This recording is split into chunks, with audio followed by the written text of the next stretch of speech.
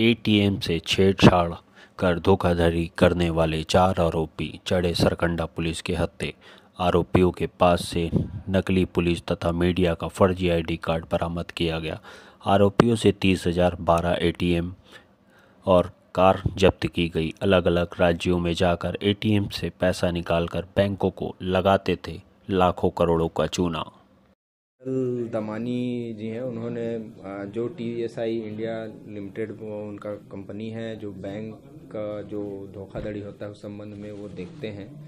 उनके द्वारा सरकंडा में एक रिपोर्ट लिखाई गई कि कुछ लोगों के द्वारा एटीएम से फ्रॉड एटीएम में फ्रॉड किया गया है और पैसे जो है निकाल लिए गए हैं और वो उस ट्रांजैक्शन को डिक्लाइन कर देते हैं, जिससे बैंक को लाखों रुपए का नुकसान होता है।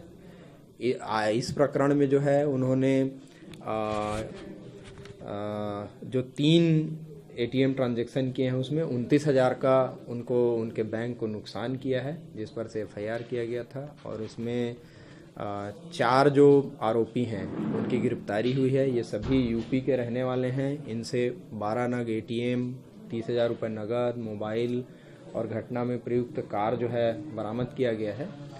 और इसमें बैंक से डिटेल जानकारी ली जा रही है कि कैसे ट्रांजैक्शन हुआ। सीसीटीवी में जो एटीएम में कैमरे होते हैं, उनका फुटेजेस लिए जा रहे हैं। इसके आधार पे अग्रिम कार्रवाई की जाएगी।